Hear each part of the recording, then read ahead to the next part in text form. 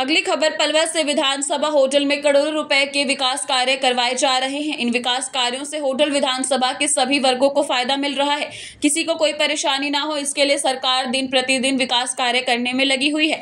लोगों के हितों को ध्यान में रखकर प्रदेश का सरकार कार्य कर रही है। यह वक्तव्य आज होटल के विधायक जगदीश नायर ने करोड़ों रुपए के विकास कार्यो की शिलान्यास करने के दौरान मौजूद लोगों को संबोधित करते हुए व्यक्त किए। हम शहर में हैं, सुबह से नौ बजे से उद्घाटन चल रहे हैं। होटल शहर में उद्घाटन किया। तीन, साढ़े तीन करोड़ की लागत से जो होटल से सड़क बनाने के लिए जाते बहुत पुरानी मांग है। उसके बाद फिर बड़ौदा में किए। दो करोड़ के उद्घाटन वहाँ किए, दो, ढाई करोड़ रुपये और उसके बाद भी बीच में साल में हसनपुर में आए, जैनपुर जाऊँगा। आज लगभग सात करोड़ रुपए की लागत से उद्घाटन किया।